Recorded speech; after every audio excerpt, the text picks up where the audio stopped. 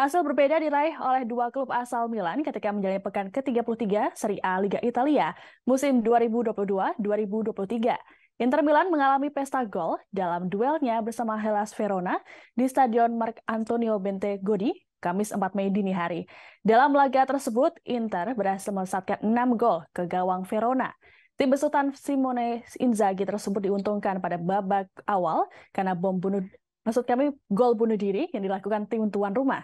Striker Verona Adolfo Gai menyumbangkan golnya bagi Inter pada menit ke-31. Kemudian gol bagi Inter bertambah pada menit ke-36 dan 38 yang dilakukan oleh Hakan Kalhanoglu dan Eden Zeko. Pada paruh kedua, Inter menambah tiga gol lagi untuk melengkapi pesta gol.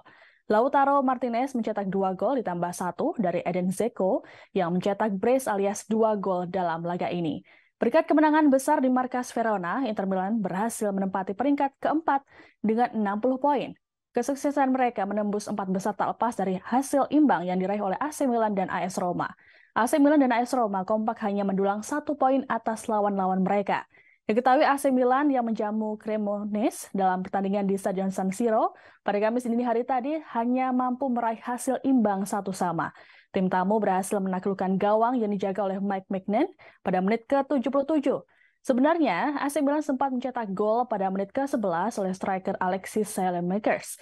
Namun gol ini dianulir oleh wasit. Pasalnya, berdasarkan review VAR, Alexis lebih dahulu terperangkap offside. Junior Mesias kemudian menjadi pahlawan bagi AC Milan setelah melesatkan golnya di waktu kritis, yakni menit ke-90 plus 3. Dari hasil ini, AC Milan memiliki total 57 poin dan mereka terdampar di peringkat ketujuh yang menjadi batas akhir zona kualifikasi Europe Conference League. Terima kasih sudah nonton. Jangan lupa like, subscribe, dan share ya.